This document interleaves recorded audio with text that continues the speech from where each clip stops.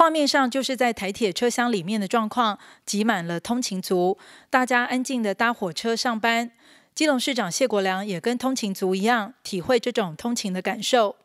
身体内有一大早起床的疲累，所以大家一上车就争取时间休息或是闭目养神。跟我们王俊宏王处长，他也是第一线，跟我们都在尽量下了解通勤族群。那今天没有特殊状况跟各位报告，但是我们想推荐一下。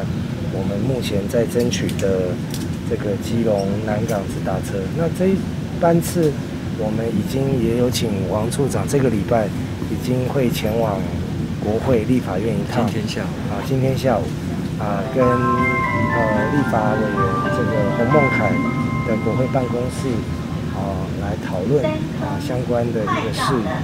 那我们目前是规划，希望基隆到南港，大家可以看。基隆到南港哦，可以有直达的情况。那目前来说，我们基隆会经过三坑、八堵、七堵、百福、五堵、细子、细科。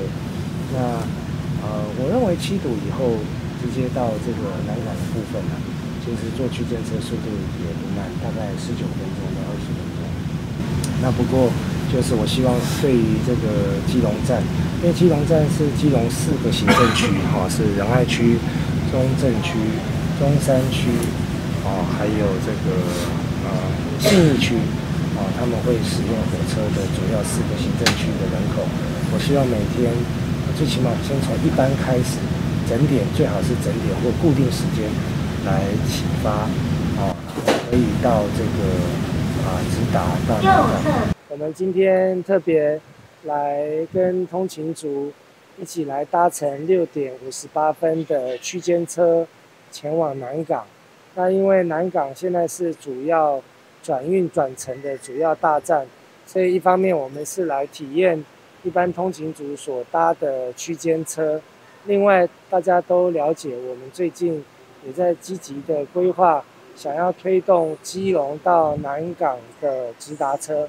基隆的南港的直达车在我们的规划中。啊，如我们过去曾经争取过的，是基隆南港中间不停，一站就到。那我觉得这样可以替通勤通勤族上班去南港的，在这个上班时间可以省下十三到十五分钟，预计二十二到二十三分钟就到。那现在坐区间车则是大概要三十六分钟左右。那我们自己想来搭乘看看现在的区间车，另外有机会的话也跟通勤族。做一些互动，询问他们对于区间车跟直达车的看法。另外，我们也在啊请委请交通处来进行民调，看一下我们的通勤族朋友对于啊区间车以及假如有直达车啊他们的民意反应。因为我个人是认为这是有需要的一个有效的上班专车，但是实际上的结果还是要看民众的反应。我们也会看民众的。民意调查的结束后，来作为啊继续争取这个直达车的一个重要的一个依据。谢国良表示，他能够了解这样的心情，因此他非常希望争取基隆到南港的直达车，帮通勤族再争取十几分钟。体验通勤的过程中，市长谢国良也透过直播跟民众问好互动。在充分了解大家的想法之后，他会努力的争取更多的协助，尽快来落实直达车这项政策。记者黄日升、陈淑平基隆报道。